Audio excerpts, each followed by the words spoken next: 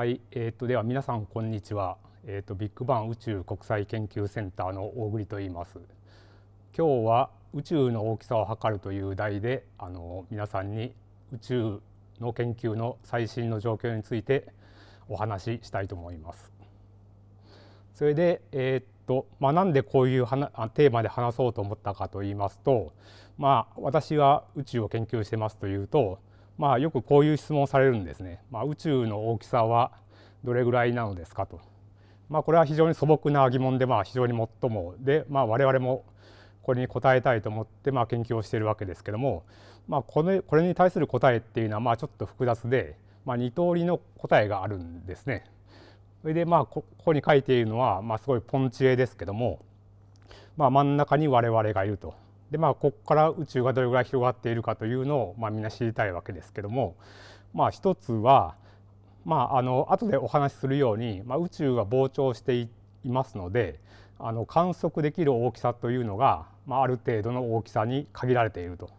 まあ、一つはだから観測できる大きさ宇宙の大きさはどれぐらいですかという質問が一つあります。それでもちろんそこの観測できる宇宙の大きさの外で宇宙が突然終わっていると。いうことはまあもちろん考えにくいですので、まあ、その先にも宇宙はこう広がっていると、まあ、それがどこまで広がっているかという、まあ、宇宙全体観測できるかどうかにかかわらず宇宙全体がどれぐらいの大きさですかと。いうまあ質問は非常に難しくて、まあ、もちろん有限かもしれないし、まあ、ひょっとしたらこう無限にずっと続いているかもしれないと。まあ、これは非常に難しい問題で、まあ、これについてもまあ我々はいろいろ考えてどうなっているかというのを研究しているわけですけども、まあ、今日のお話はこちらのあの観測できる宇宙の大きさはどれぐらいですかと。まあ、まあ、答えを言うとまあ大体140億光年ぐらいなんですけども、まあ、この大きさをどうやって測るかということを今日はお話しします。それであの、まあ、これに、まあ、これを考える上で重要になる点はまあ、まあ、皆さんも聞いたことはあるかもしれませんけども、まあ、宇宙は膨張しているという事実があります。でまあ、宇宙の膨張というのも、まあ、ちょっとイメージしにくいですけども、まあ、ここに書いているようなものが、まあ、宇宙の膨張です。でまああのまあ宇宙の中にはいろいろ銀河があって、まあ、そのいろんな銀河はある程度の間隔を持って離れてこうあの分布しているわけです。でまあ宇宙が膨張しているのっていうのはどういう状況かといいますとまあこの宇宙に、まあ、あるメモリを置いて、まあ、もちろん宇宙は本当、まあ、ここでは2次元を書いてますけども本当はまあ3次元なんで、まあ、3次元的な宇宙のメモリが宇宙にメモリがあるという状況を考えてでまああの宇宙の膨張は、まあ、このメモリ自体がこう広がっていくというようなものをイメージしてもらえば良いと思います。でまああのこの宇宙の膨張はあの、まあ、有名な一般相対論から予言される現象で、まあ、実際にも、まあ後で説明しますように実際にも観測されています。でまああのこれをどうやって観測するかっていうとあの、まあ、宇宙が膨張すると何が起こるかっていうと、まあ、ある例えば2つの銀河をこう見てみると見てみると宇宙が膨張するにつれて、まあ、この2つの銀河の距離がどんどん広がっていくということになります。でまあこれはこの2つの銀河が特殊なわけではなくて、まあ、この図で見てもらって分かるようにどの銀河のペアを取ってきても、まあ、その銀河同士の距離が広がっていくということで、まあ、あの銀河同士の距離が広がっていくという効果から宇宙の膨張を測定することができるわけです。でまああのでなので、まあ、宇宙の膨張が起こると何が起こるかというと、まあ、私たちを中心にとると周りの銀河がどんどん広がっていくと遠ざかっていくということが起こるわけです。でこれはあの私たちが特別なわけではなくて、まあ、さっきの図で見せたようにどの銀河を取ってきてもその銀河の周りの銀河がどんどんあの遠ざかっていくというような現象が起こります。ですのでこの周りの銀河がこうどんどん遠ざかっていくという現象を観測できればあの宇宙が膨張しているということが分かってかつどのぐらいの速度で膨張しているかということが分かるわけです。でまああのここにあのんで、えーと、ここに図を書いてますけども、まあ、私たちがいてその周りに銀河がこう青い銀河がいて、まあ、それがどんどん遠ざかっていると。でこの遠ざかる効果をどうやって観測するかというとあのまあ、高校の物理でも習うドップラー効果という効果を使ってあの調べることができるわけです。でこのドップラー効果というのは何かというと、まあ、ある速度でこう私たちから遠ざかっていくと、まあ、その速度に応じてあの観測される波長がもともとの波長よりちょっと伸びるという効果です。まあ、ここに式を書いてますけどもこの波長の伸びるあの分っていうのが遠ざかる速度に比例すると。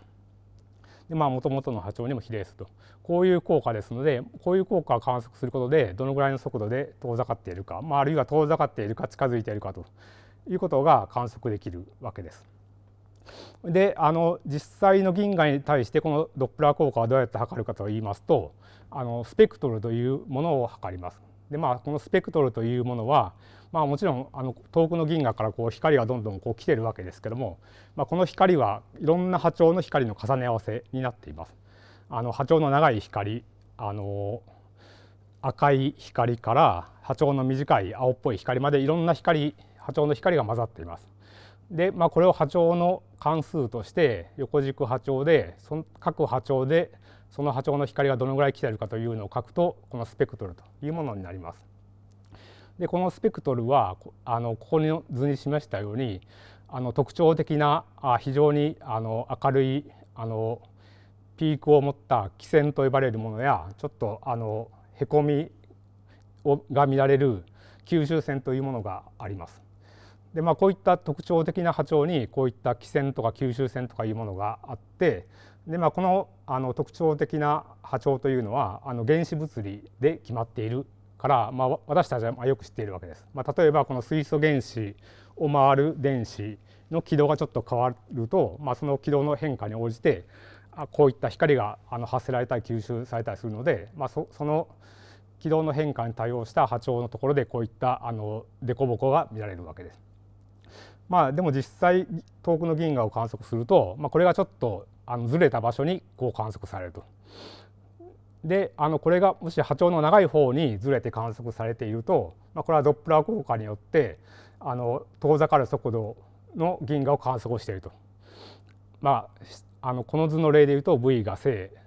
ので遠ざかっている銀河を観測しているということですのであのこのスペクトルの波長方向のずれを見ることであの銀河の遠ざかる速度を調べることができるわけです。であの、まあ、この効果を使ってあの宇宙膨張というものが発見されました。で、まあ、この図に書いてますのはあの、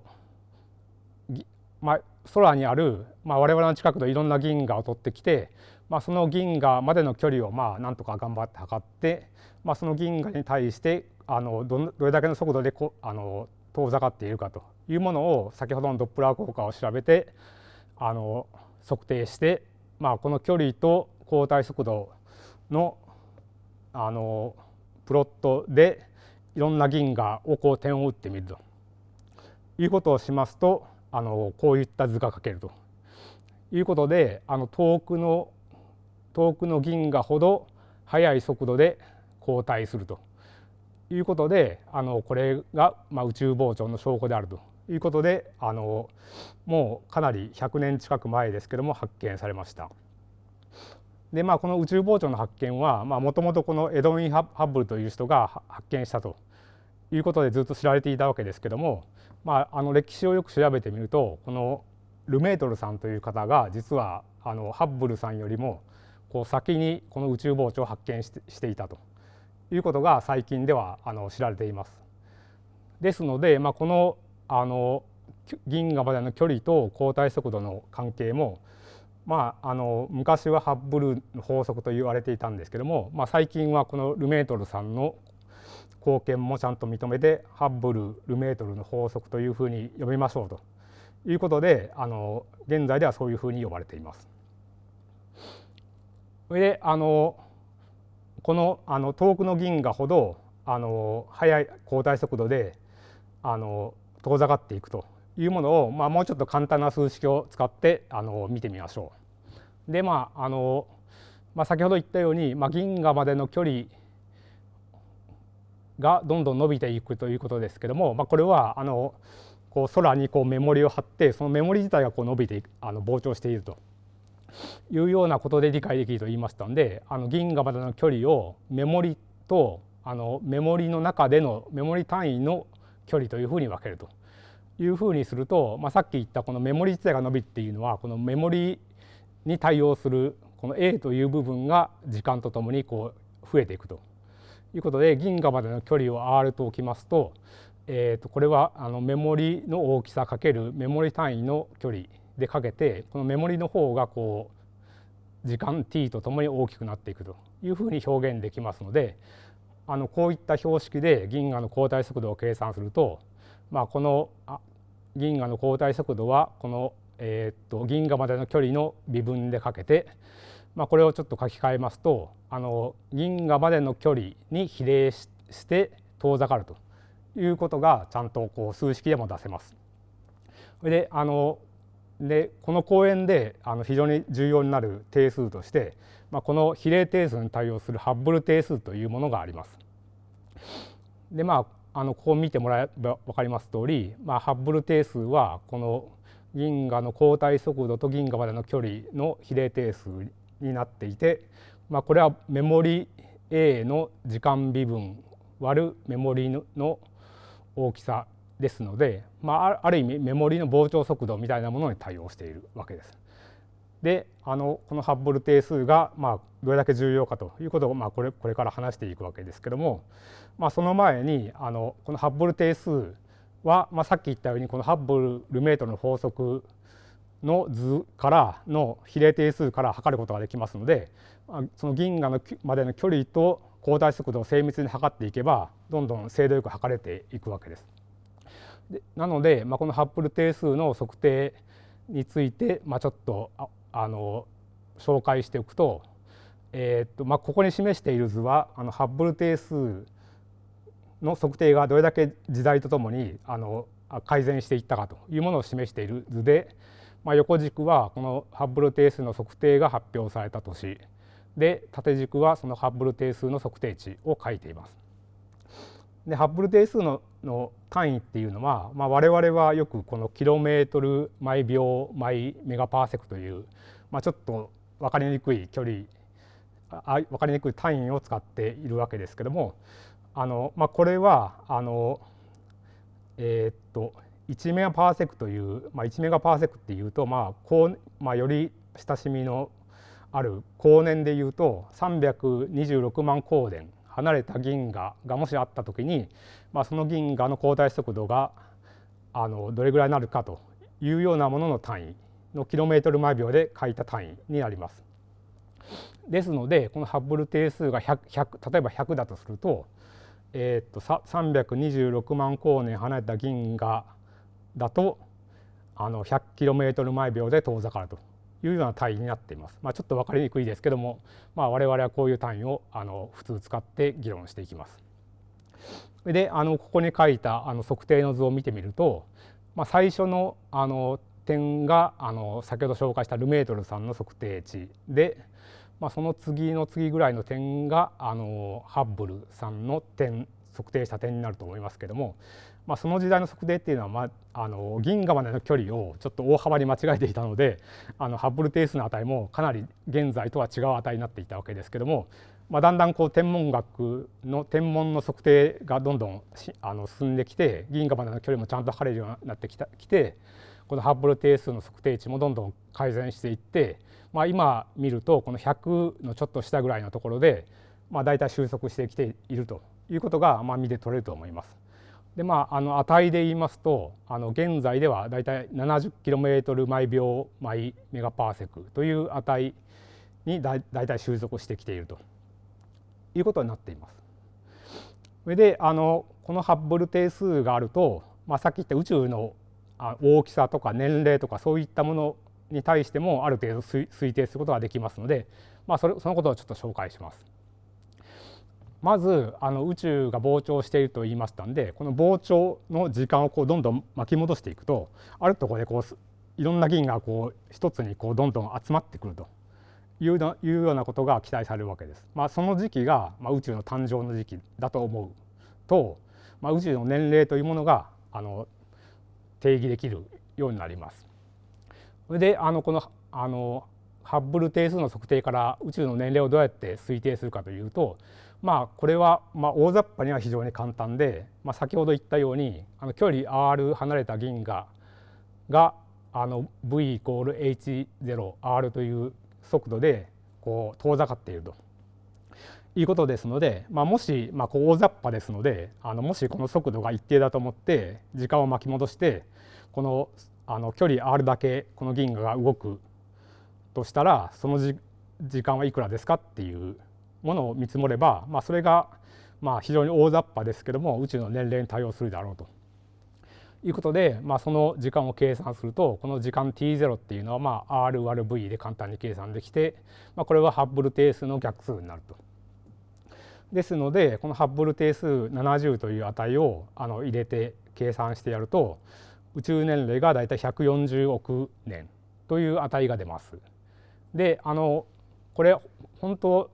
もっと正確に見積もろうと思うと一般相対論の勉強をしないといけないわけですけども、まあ、実はこのもうちょっと正確に見積もってもこの宇宙年齢っていうのは大体140億光年ぐらいで、まあ、これは偶然なんですけども、まあ、割と一致して一致した結果が出ます。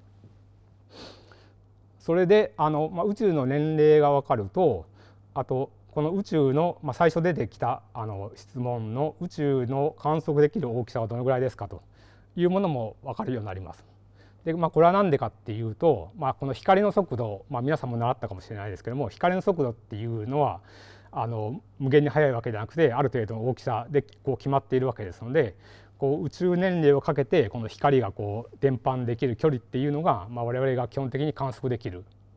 宇宙の大きさに対応するはずです。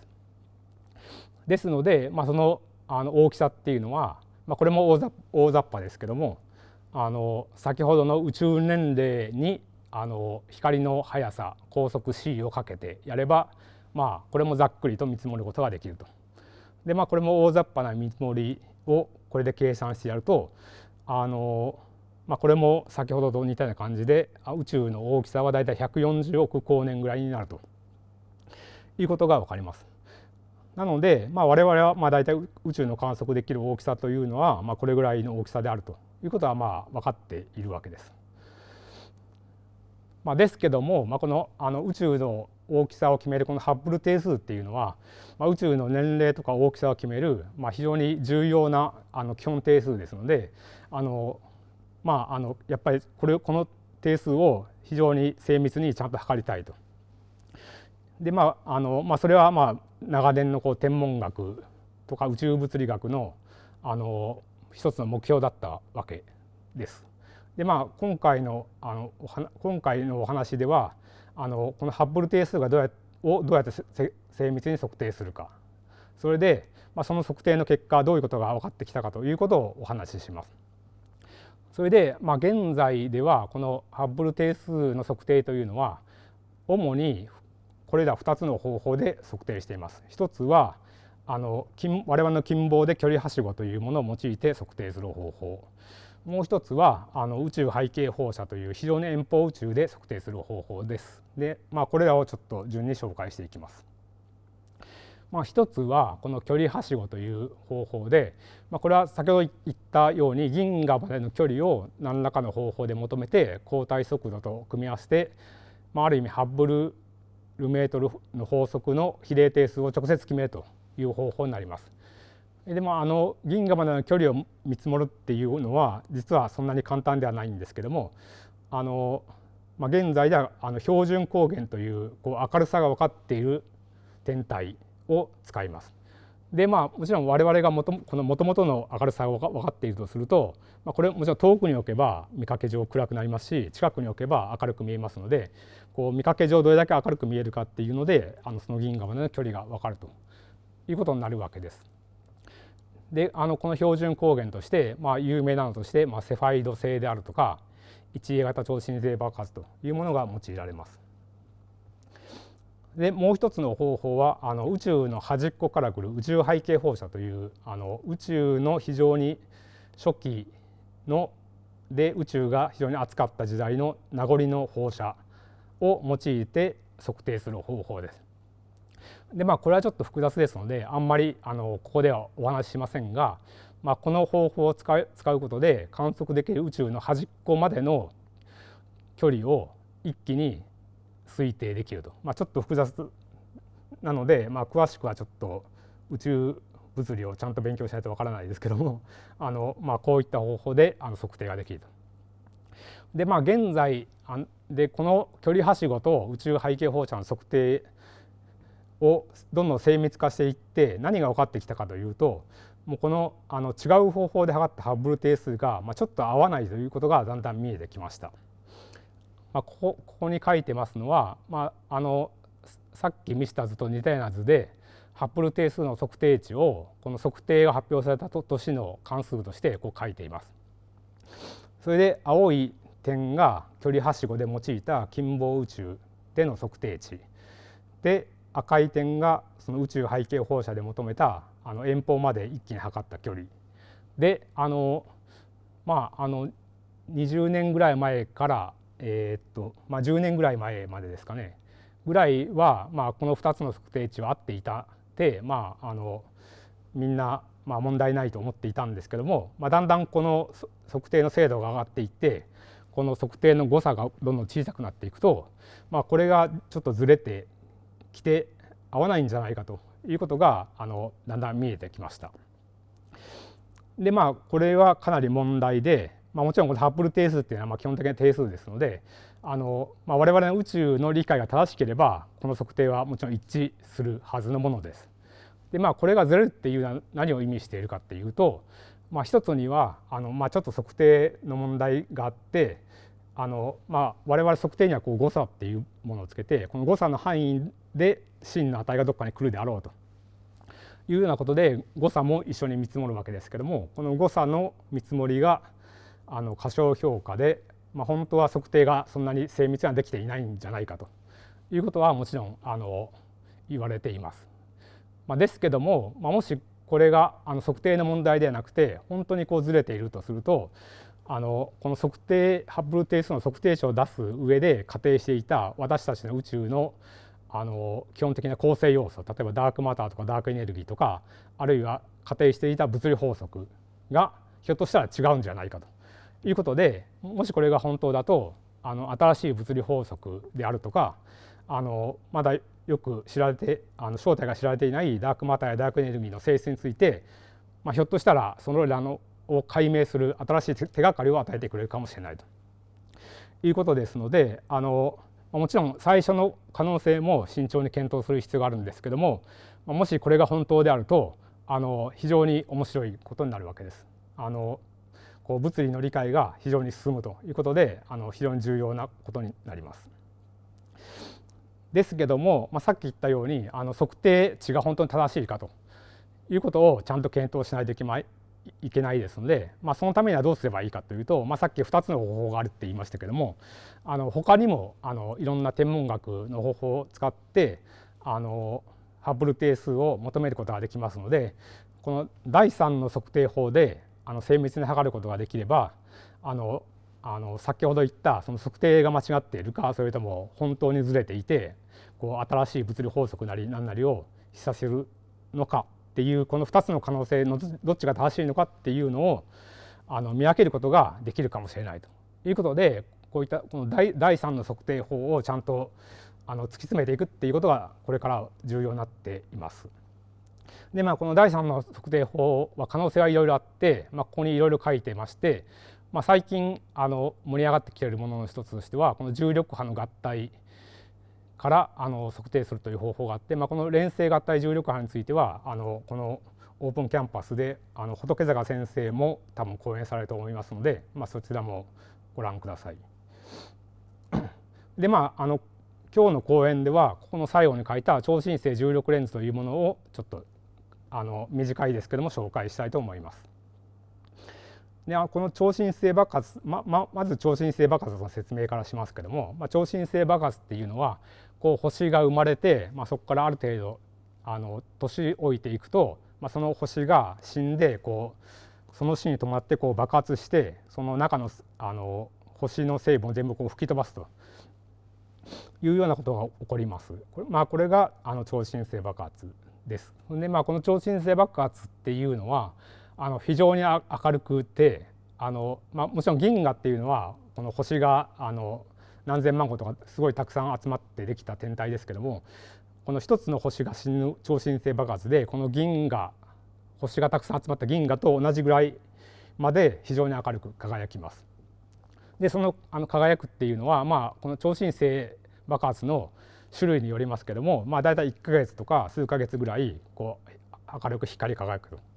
まあ、ここ図で書いてますけども超新星の爆発に止まってあの明るさがぐーっと上がっていって、まあ、1か月オーダーでこう光っていてこう暗くなっていくというような現象になります。それであの超新星の重力レンズというのは何かと言いますとこの遠方にある超新星が、まあ、たまたま手前になんか重たい天体が来て、まあ、その重力レンズ効果によってこう超新星がこう分裂して複数個に見えるというような現象になります。まあ、ここに簡単な図を書いてますけども超新星が遠方にあって、まあ、そのちょうど手前ですね視線方向の手前にレンズ天体があって、まあ、その場合この超新星からのこの青い光がこうあのレンズ全体の重力によってこう曲げられて私たちに届くと。でまあ私たちから見える方向っていうのをこう逆にたどっていくと、まあ、超新星が観測される位置っていうのは、まあ、この上の点と下の点、まあ、すなわち、まあ、状況によってはこう2つ、まあ、ないしそれ以上にこう分裂して観測されるということも起こりうるわけです。でまあこれはあの超新星ではなくてあのクエーサーと呼ばれる天体の重力レンズの観測の例ですけどもあの中心にある、えーと、黄色い天体がその手前のレンズ天体ですね重力レンズを引き起こす重たい天体でこの白白い丸で書いてあるのがあのクエーサーと呼ばれるすごい遠方の青い天体です。それでこの例ではもともと一つのクエーサーなんですけども重力レンズ効果で分裂してこう4つに観測されているということで、まあ、こういったあの感じのものが観測されるのが重力レンズ現象です。それでこの重力レンズ現象ですけどもあの、まあ、自宅でもかんちょっと簡単に実験することができて、えー、っとまあ、例えば何かあの、まあ、ここで書いているのは、まあ、ちょっと自分で赤い点をこう打ってみたんですけども赤い紙にこう赤い点を打ってみてそれでここで使っているのはあのワイングラスですね、まあ、皆さんの家にもワイングラスは多分あるとは思いますけどもワイングラスの底っていうのがちょうどこの重力レンズ効果っぽいものをとをを再現するような感じのレンズになっているので、まあ、これを使うことで重力レンズ効果っていうのをあの実験してみることもできます。でまああの左はこう点がこう下にあってワイングラスがありますけどもこのワイングラスを動かしてこのあの赤い点をこのワイングラスの底越しにこう見ると、まあ、この図でちょっと見にくいですけどもこのもともと赤い点がこう引き伸ばされて分裂しているという様子が、まあ、ちょっと見にくいかもしれませんけど、まあ、見て取れると思います。まあ、これもいろいろちょっと角度を変えたりしながらやってみるといろいろ2つに分裂したり4つに分裂したとかいろんなものが再現できますので、まあ、やってみると面白いかもしれません。でこの重力レンズ効果っていうのはあのまああの高校でこうニュートン力学習うわけですけどもこのニュートン力学でもまあある程度計算することができるのであの、まあ、物理が得意な方はちょっとまあ考えてみると面白いかもしれません。でまあ、ここに計算を書いてますけども、まあ、運動方程式があってあの進行方向と垂直な力を積分していくとあのまあこの曲がり角が小さいっていう近似が入ってるんですけども、まあ、大体こういう感じで計算できると。あの重たい天体にあの衝突パラメータ b という、まあ、b の距離一番近いところで b の距離でこう突っ込んでいくとあのどのぐらい曲がりますかというのがまあ計算できるわけです。でまあ計算はできるんですけども、まあ、そもそも本当に曲がるかっていうのもよく分かんなくてっていうのはあのまあよく、まあ、聞いたことあるかもしれませんけど光の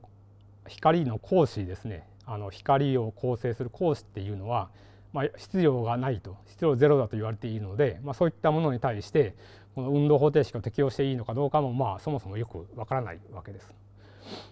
なんですけども、まあ、あのこれはあの実はこの大学で習う一般相対論を使うと非常にすっきり説明できてっていうのはこの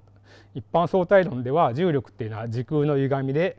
まあ、光のこう経路っていうのもこう歪んだ時空をこうまっすぐ進むということで計算できるわけです。でまあ計算がちゃんとできるだけではなくてあの曲がり角っていうのもちゃんとあの計算すると、まあ、さっきのニュートン力学の計算と実は違っていて、まあ、あのその時の計算結果とちょうど2倍になると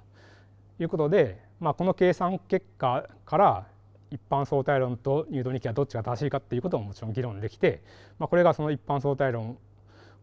をが受け入れられるようになった契機の一つの現象でもあります。まあ、あのいずれにしても一般相対論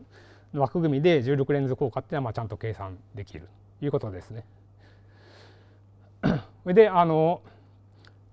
この重力レンズ効果でもう一つ重要なのはこの時間の遅れという効果があります。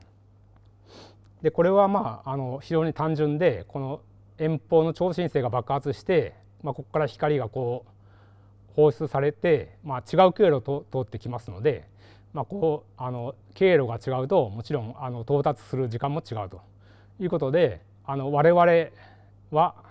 まあ、超新星はもちろん一つだけ起こるわけですけども超新星で爆発は一つだけ起こるわけですけども、まあ、これをが複数像を作って観測する時にはこう違うあの複数の超新星がこう時間差でこうやってくるみたいなことにしてのような感じで観測されるわけです。まあ、いわば超新星が時間差で複数回爆発するみたいな感じで観測されると。でまあそのことをこのあのアニメーションでちょっと説明しますけども、まあ、これはあの、えー、と上が重力レンズ効果ある場合で下が重力レンズ効果ない場合であの上の場合にはこのあの真ん中ぐらいに赤い銀がありますけども、まあ、これがこの重力レンズを起こすレンズ天体で、まあ、これがあった時に超新星爆発どう見えるかっていうののまああの何ですかねあの単純なあのイメージ動画みたいなものですけども、まあ、これをちょっと見てみます。でまあこうやって、まあ、地球があって遠方の銀河の中で超新星爆発して重力レンズ効果があると、まあ、この例ではあの今出ましたねこう4つぐらい超新星爆発が起こります起こりましたけども、まあ、これはこう時間差でやってくるわけです。でまあこの時間差を使うとハッブル定数っていうのがあのあの最初から説明しているこのハッブル定数っていうのあの測定できてっていうのは、まあ、これも原理は非常に簡単でハッブル定数っていうのはまあ宇宙の大きさそのものなんですよね。宇宙の大きさそのものですのでハッブル定数が小さいとこう宇宙全体が大きいということですのでこの超新星爆発までの距離も大きくなると。とするとこの到達時間のこう差も大きくなる。一方ハッブル定数が大きいと宇宙全体がこう小さですので到達時間の差も小さいということですのであのこの時間の遅れの観測によってハッブル定数を測定することができるわけです。まあ、ですけどもこの超新星重力レンズってまだあんまり観測例がなくてまだ3例ぐらいしか発見されていません。であの、ままあ、しかもそのうちの2つはちょっと時間の遅れがかなり短くて測定がかなり難しい状況ですので、まあ、あのここではこの真ん中の一つの例を紹介して、まあ、ここからハッブル定数を測るというようなあの方法について、まあ、ごく簡単にあの説明したいと思います。でこのあのレフスダルと呼ばれる超新星重力レンズはこのレンズ天体が銀河団、えーと、MAXJ1149 という、まあ、50億光年離れた銀河団、まあ、銀河団ってこれ赤い銀河たくさん密集した銀河あの天体でダークマターもたくさん付随している天体です。でまあ、この背後でこの銀河団の背後で超新星爆発が起こって、まあ、それが分裂して観測されたという現象です。であのまず歴史的な経緯を言うとあのここの銀河団のちょっと下のところに拡大図がありますけども、まあ、ここでなんか4つ点が見えてますけども、まあ、これがあの2014年の11月にあの発見された超新星の複数像、まあ、超新星は銀河団よりも遠い90億光年先にあって、まあ、これが重力レンズ効果で4つに分裂されて、まあ、ほぼ同時にやってきて観測されたという現象です。それで、まあ、これ銀河団でダークマターたくさんありますので、まあ、実はあの他にもこの重力レンズの複数像が見えるということであの、まあ、私も含めていろんな人が解析した結果あの、まあ、さっきあの2014年の11月発見されたって言いましたけども、まあ、その、まあ、大体1年後にあこう1年後にようやく遅れて次の他の超新星の複数像がやってくるんじゃないかということが予言されました。でまあ場所もこの SX って書いてますけども、まあ、この辺に起こるであろうということがあの予言されて、まあ、その予言に従って、えー、っとハッブル宇宙望遠鏡で観測が行われて、まあ、その結果あの、まあ、大体本当に1年後通りにこう出現したわけです。まあ、2015年の11月か12月か、まあ、それぐらいに